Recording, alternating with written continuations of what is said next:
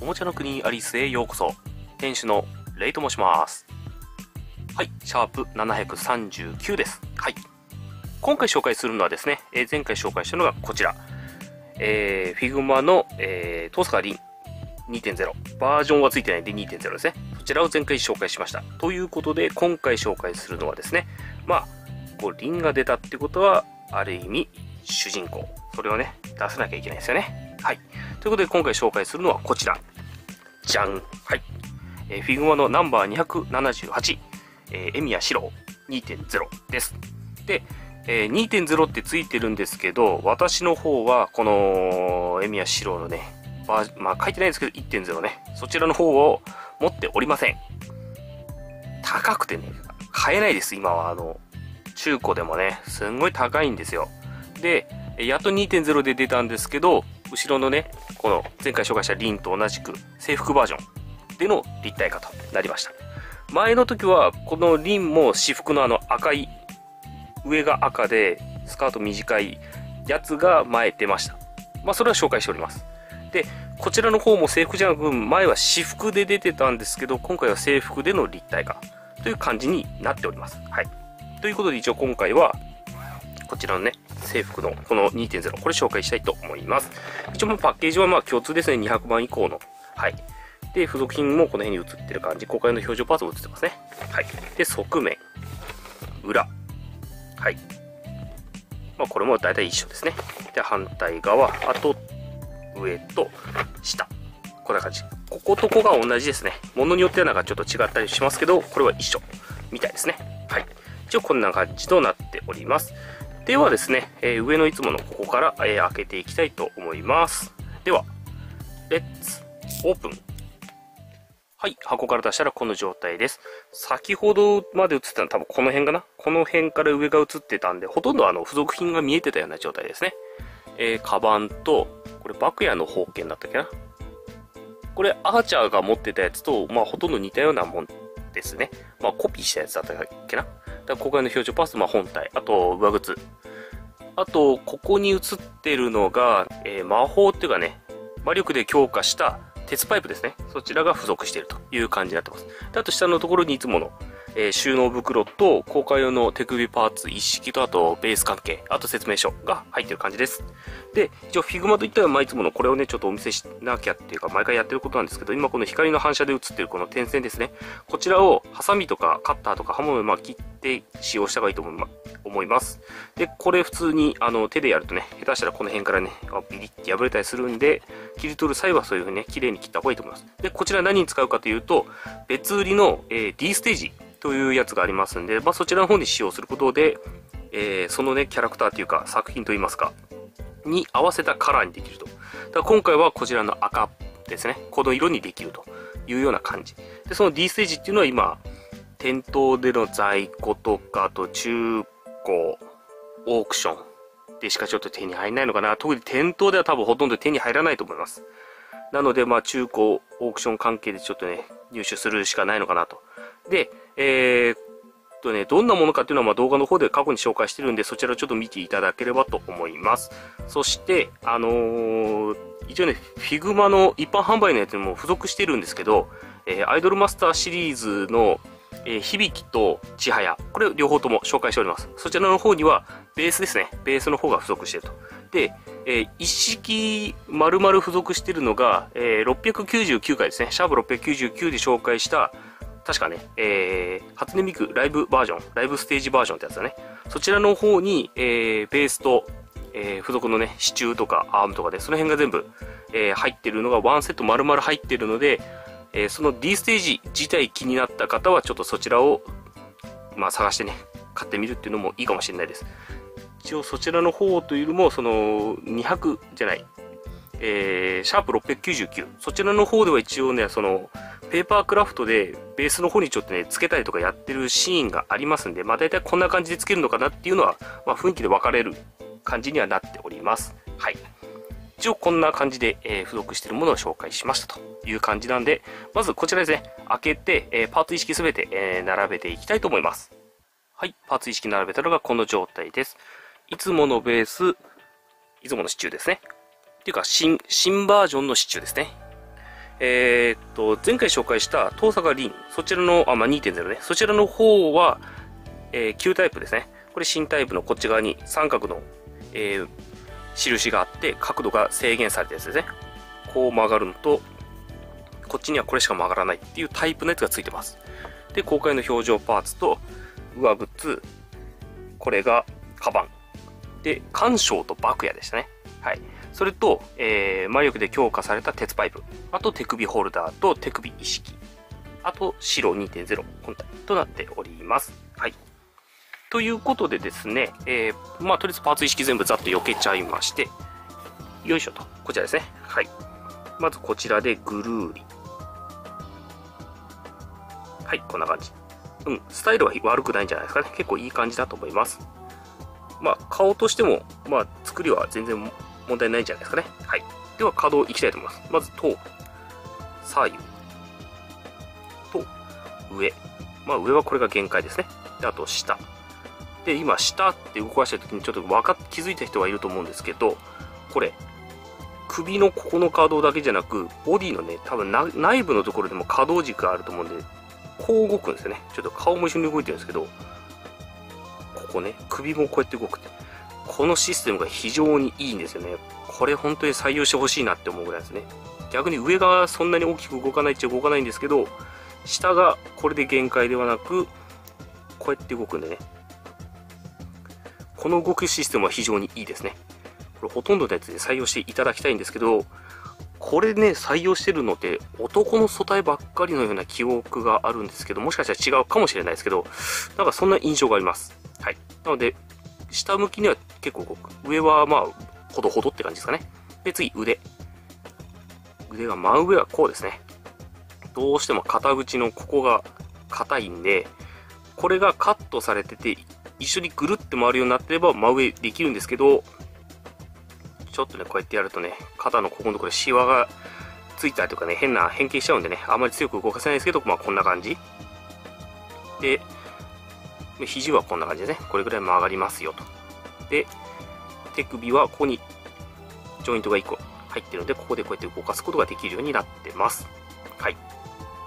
で、肩のここのね、内側にボールジョイントみたいになってるんで、ここの位置を調整してあげると、水平にはこんな感じで動くと。で、えー、前回のリンの方では、ここ、ガチャッとね、こう、引き出してあげることができたんですけど、白は特にないですね。なので、えー、ちょっとこの辺が干渉しがちな状態で動かすというような感じになっちゃってますね。はい。で、一応、えー、左右同じ感じに動かすことができます。あと手首がね、これ、はい、ここに霊獣ですね。はい。白は左なんですね。リンは右だったんですけど、白は左みたいですね。で、次、ボディの可動が、まあ、背中のところでカットラインが入ってない。まあ、一応、ここら辺かな。この辺でなんか入ってるんで、これね、反らせたりっていうのもできそうなんですけど、この辺の腰回りのこれがちょっと硬いんで、そんなに大きく動かせないんで、この中ですね。この本当に腰の部分でここでこうやって動かす感じですね。で、上の部分は補助的に動かす感じかな。で、足がとりあえず左右こんな感じ。前後がこんな感じかな。で、足がこれぐらい曲がって、あと足首の部分でこういう風にね、ジョイント入って動かせて、つま先も動きますという感じです。で、この白はここの部分ね、これが、えー、前回のリン2.0もやりましたけど、同じくこれもこういう風に引き出すことができるようになってます。なので、これを引き出すことによって、この前後もそうですし、左右も開くと。まあ、前後はあんまり、そこまでね、すごく大きく変わるわけではなさそうなんですけど、左右の開きはね、かなり大きくなりますね。で、終わったら戻すという感じですね。ただ、これも、パチン、パチンって感じじゃなく、結構、ぬって感じかな。そんな感じで、まあ、抜ける、抜ける、うん、本当に抜けるって感じですね。なんか、伸びたっていうよりも、なんかちょっと、はまってた部分が軽く抜けたっていうような、そんな、えー、印象ですね。はい。一応本体の稼働としてはこんな形となります。で、こちらの背中の穴、ここの部分に、先ほどね、曲げを紹介したこのジョイントを差し込んで、で、三角のマークが外ですね、になるようにして曲げてあげると。そして、ここの下の部分に、えー、ベースですね。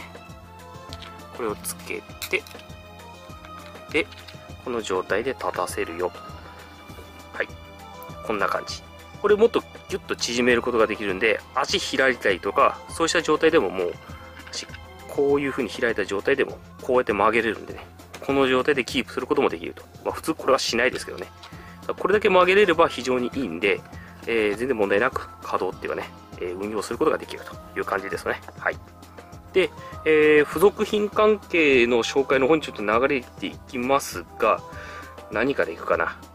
えー、とりあえず、表情パーツからいくかな。え、まず今、通常ついてるのがこちらの顔。で、えー、前髪ですね。これを外して、顔を取ります。そして、付属の顔、2種類ですね。こちらと、こちら。方向フェイスですね。これ付けたいと思います。で、今外したボディの方に、こいつをギュッとつけて、であと普通に前髪を戻してあげるだけ。うん。交換方法は基本的にいつもと一緒です。はい。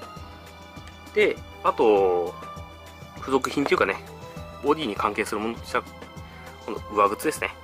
これは、まあ、片足しかちょっとやんないですけど、これ、えー、左足ですね。左足、ここをジョイントの腰で抜くと。そして、えー、足。これも左右ちゃんと分かるようになってるんで、これ左。これ右。で、靴底もね、ちゃんと線入ってますね。なので、これ、用意して、このセンターのこのクリアなやつ、これを抜くと。はい。そして、先ほど取ったここに差し込むと。こういう風にしておきますよと。これで交換完了。片足だけ変えましたけど、こんな感じですね。変えた方、変えてない方。こんな感じに変えることができる。それで、変えた後の、この靴の方ですね。これの穴の部分ですね。ここに先ほど抜いたこのクリアの部分。これを戻しておくと。こういう風に差し込んでおかないと、えー、この素材がね、えー、劣化してくるっていうかね、時間が経つと穴が、穴っていうかだんだんこうね、しぼんでいくみたいな感じになるみたいですね、穴が。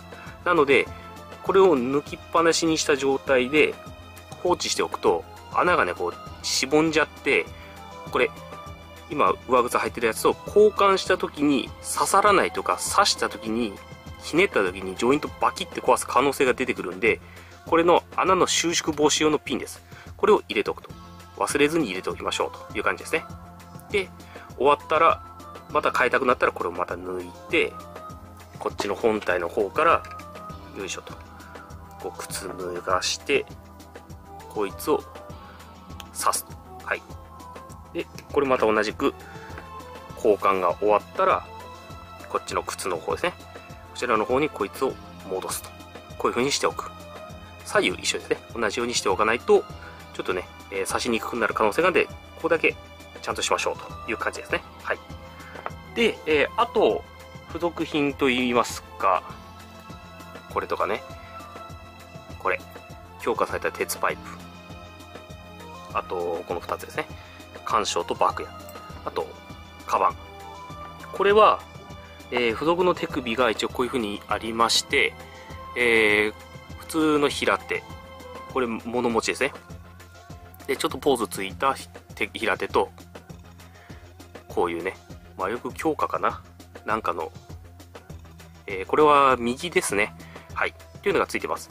で、物を持たせるときにはこの2つですね。丸いもの用の手首を用意して、えー、こちらの手首を、まずこの状態。この状態で抜くとどんなかな。あ、ちゃんと抜けましたね。ものによってはジョイントが手首側に残るんで、そしたら手首側の方からジョイントを取って、こっちに戻すという感じですね。で、これができたら、普通に、これ差し込むと。そして、逆かもしれないですけど、これね、ここの根元で抜けて持たせるってわけじゃないので、ここからちょっとね、ちょっと強引にグイグイって入れる感じかな。こんな感じで持たせると。で、反対ですね。左手も同じような感じ。で、鉄パイプの方も、今ちょっとまた抜きますけど、こうして、まあこれも適当にこう、刺すとかね。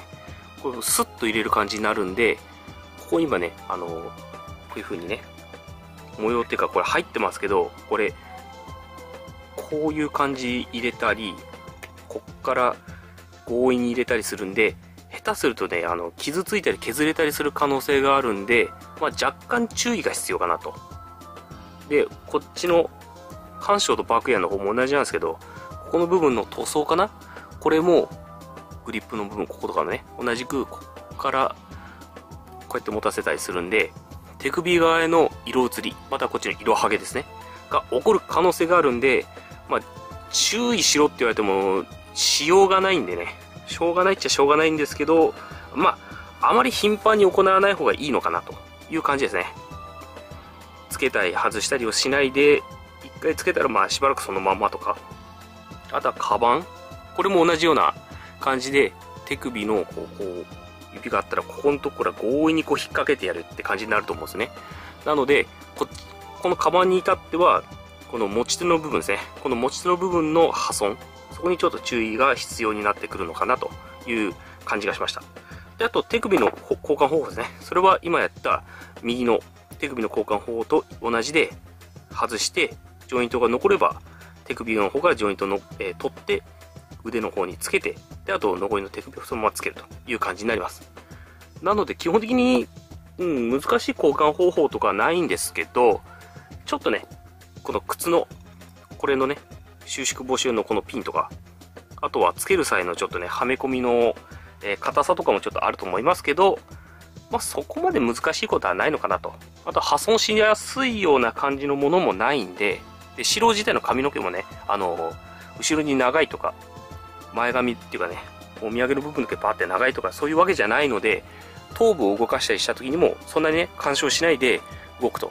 で、さらに、このボディのこの前面部分というかね、首から胸に当たって、この部分でこういう風に動いたりするんで、結構ね、ポージングは結構しやすいのかなという感じがしました。はい。一応今回これで、まあ、終了かなと思います。えー、 figma のナンバー278、えー、衛宮士郎、バージョン2.0。はい、こちらの方の紹介を終了したいと思います。で、一応最後にちょっとね、リンゴをちょっと出してね、2人並べておこうかなと。はい、一応こんな感じ。はい。まあ、制服で揃ってるんでね、悪くはないと思います。はい。ということで、えー、次回、次回紹介するのは、こっちの白ですね。白に関係するあるキャラクターを紹介したいと思います。はい。それではまた次回お会いいたしましょう。バイ